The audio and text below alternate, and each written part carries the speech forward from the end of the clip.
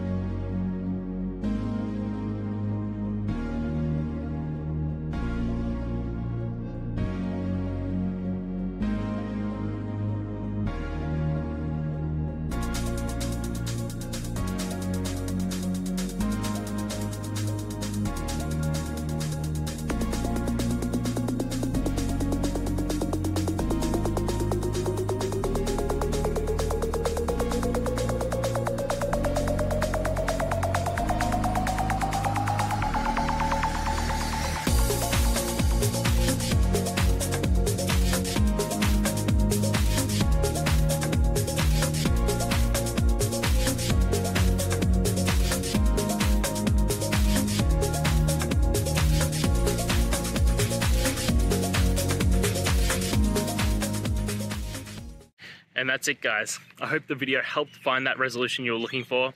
And, you know, if it did, please, I'd appreciate if you could hit subscribe.